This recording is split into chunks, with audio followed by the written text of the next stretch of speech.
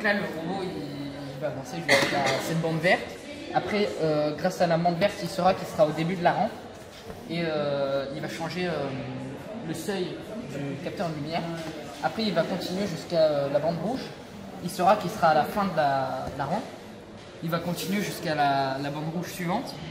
Et là, il saura qu'il sera à la descente, justement. Et il va descendre jusqu'à cette bande verte. Et à la bande verte, il saura que c'est fini. Et il continuera son chemin.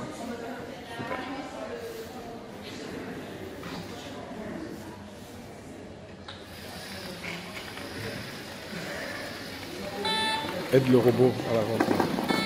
Voilà.